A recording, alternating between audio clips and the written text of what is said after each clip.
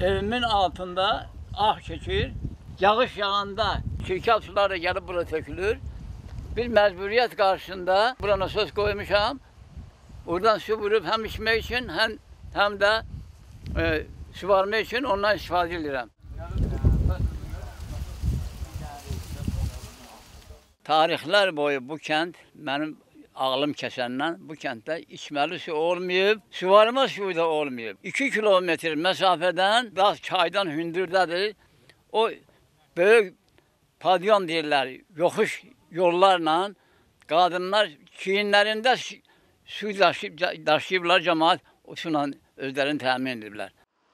Şabranın Prensəm kəndinin mindən çox sakini illərdir problemlə üz-üzə qalıb. Onlar su əldə etmək üçün kilometrlərlə məsafə qət etmək məcburiyyətindədirlər. Yağış olanda palçıq olur, gəlmək olmur, çətindir. Yolumuz uzaqdır. Hər dəfə belə bir əziyyət çəkirik. Burada hər cür heyvanat olar, uşaqlar gəlməyə qorxur, itlər, çaqqallar. O boyda vəsait qoyulub da bura. Ağır texnikalarla ay yarım 2 ay müddətində burada işləyiblər. 3 ay, 4 ay cəmaət sevinə-sevinə istifadə elədi.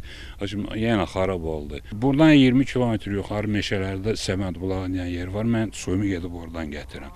500-600 litr gətirəm, 1 ay müddətində içirik. İçməz tərəfindən sürünürük. Çox çətindir. Bu günkü gündə biz bu suyun üzünə həsrət qalmışıq. Cəmaət öz gü- gücü ilə, öz e, maddi imkanı sayəsində xəttlər çəkdilər məhəllələrə. O sudan istifadə elədilər.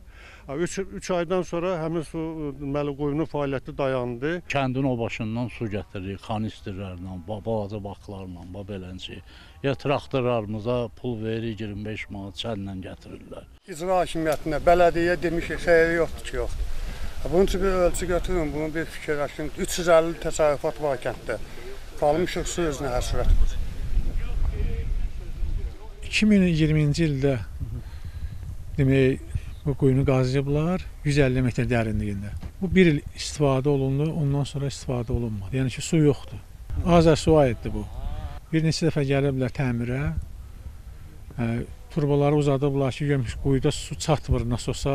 Təmir ediliblər, yenə də bir effekt olmayıb. Su nasosunda heç bir problem yoxdur. Sadəcə olaraq quyuda məhsuldarlıq aşağı düşdüyü üçün ona görə də quyunun istismarı dayandırılır. Mövcud problemlə bağlı tərəfimizdən aidiyyəti üzrə müraciət olunmuşdur. Mütəxəssislər yerdə baxış keçirib qərar qəbul olunmuşdur ki, növbəti 2024-cü ildə e, münasib yerdə kənddə quyu vurulsun və kəndin su təminatı təmin olunsun.